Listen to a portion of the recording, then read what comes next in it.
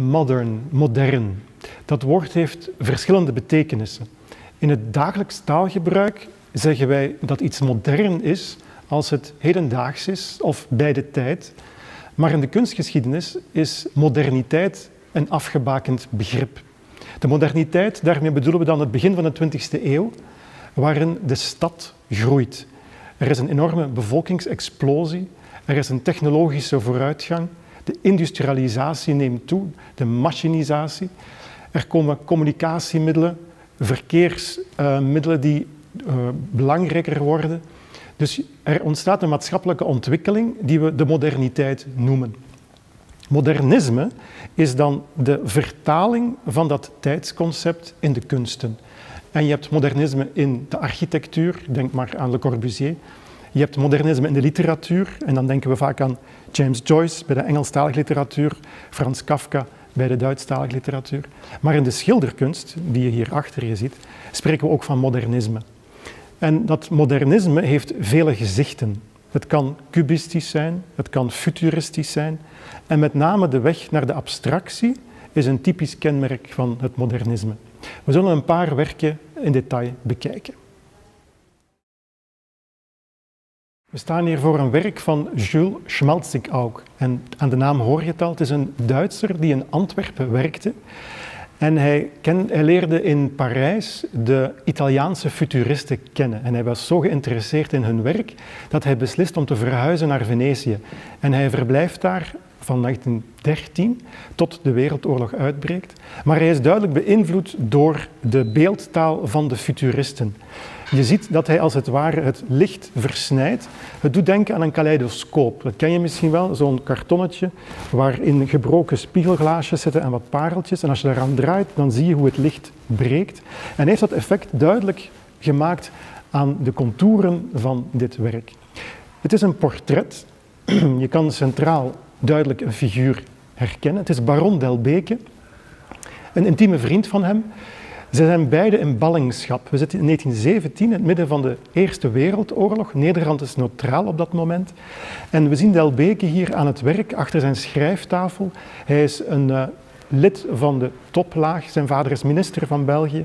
Um, hij is collectioneur van 18e-eeuwse manuscripten. En hij is hier verdiept in zijn werk. Hij wordt afgebeeld als intellectueel. Hij is ook uh, lid van de vrijmetselaars trouwens. Het zal het laatste jaar zijn dat Schmalzig ook actief is. Hij zal overlijden in datzelfde jaar. Maar uh, Delbeke zal achteraf in zijn memoires schrijven dat uh, Schmalzig ook een man is van licht, lucht en leven. En dat zien we duidelijk in dit werk. We staan hier voor het werk van Prosper de Trooier. Het heet De Naaister. Het duurt even voor we als kijker het beeld kunnen lezen. We zien een figuur centraal zitten en haar gelaat wordt drie keer getoond. Ook haar linkerhand wordt hernomen en hetzelfde geldt voor haar rechterhand. Op die manier suggereert de trooier beweging. En dat is de uitdaging van een schilder. Hoe krijg je in een statisch, tweedimensioneel vlak beweging? Hij heeft goed gekeken naar de futuristen. Hij correspondeerde met Marinetti en hij heeft een idee Leentje Buur gespeeld. Wat nieuw is bij Prosper de Trooier is het gebruik van kleur. Hij gebruikt kleuren volledig zonder gradatie. Dus hij zal een volledig vlak roze maken, een volledig vlak geel, een volledig vlak rood, zonder enige gradatie daarin. Wat niet realistisch is, maar wat wel erg sterk werkt op doek. Prosper de Trooier werkte in 1920 aan dit doek. En in datzelfde jaar maakte hij een ander volledig abstract werk met de titel Signaal. Nu, als je in 1920 signaal zegt, dan denk je aan Paul van Ostaaien, want dat was de titel van zijn dichtbundel. Zij waren vrienden aan huis, ze kwamen goed overeen, maar politiek hadden zij andere ideeën. En dat is interessant. Hè? Hoewel ze goed bevriend waren met elkaar, hebben ze toch andere politieke ideeën. Want Prosper de Trooier heeft tot twee keer toe kardinaal Mercier geschilderd. En kardinaal Mercier is een omstreden figuur die uh, zeer conservatief was, anti-Vlaams. Uh, maar hij had er wel een boon voor.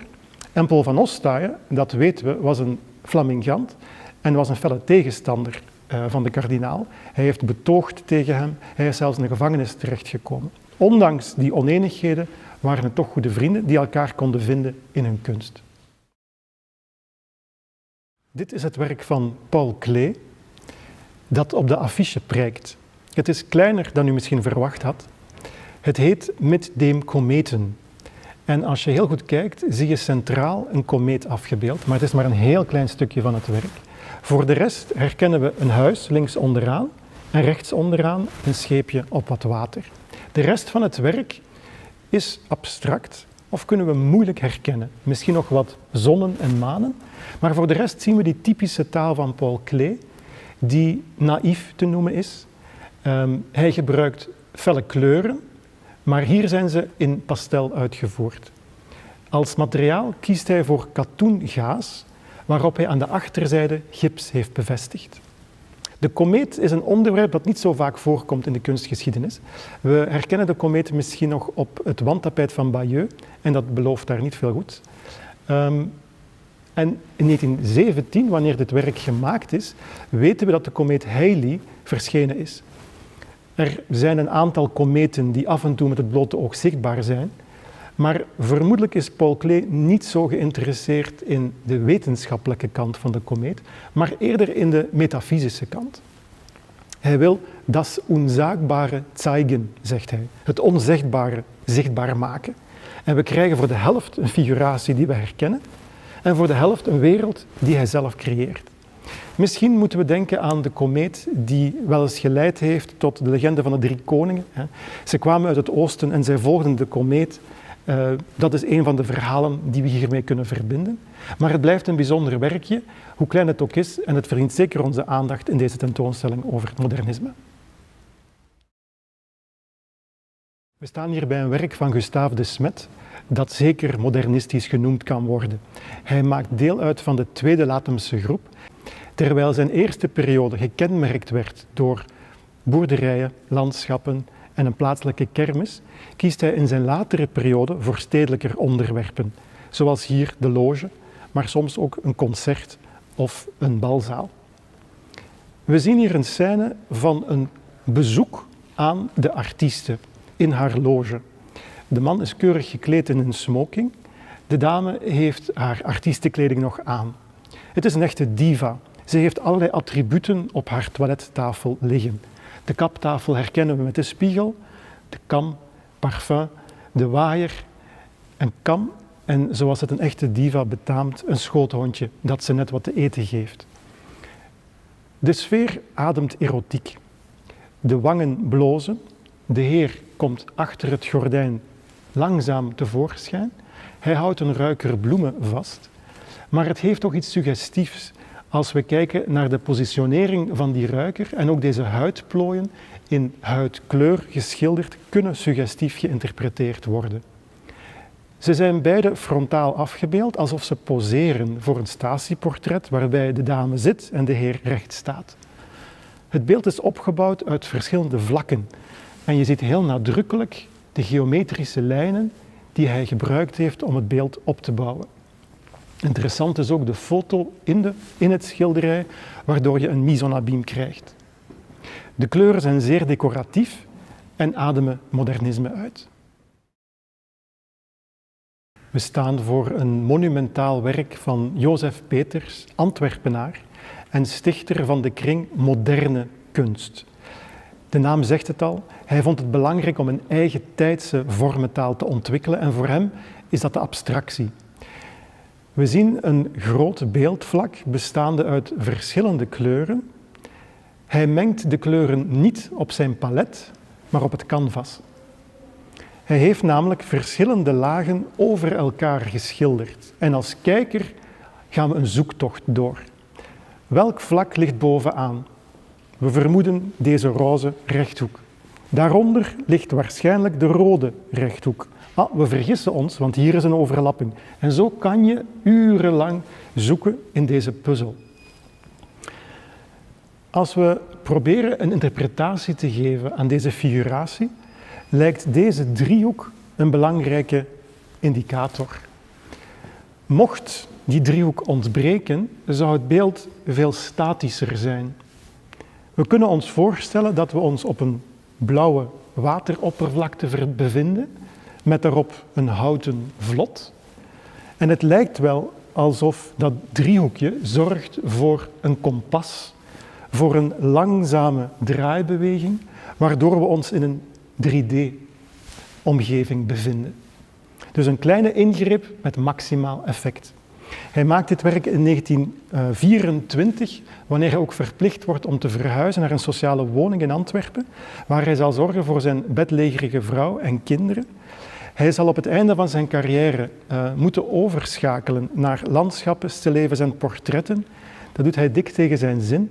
Hij signeert die werken niet met Jozef Peters, maar met H. Angtse, Hangtse. Zijn naam schrijft hij met veel fierheid onder dit soort werken. We staan voor een werk van Victor Servranckx. In een interview zei hij hoe blij hij was met die naam. Servranckx, des heren Frank.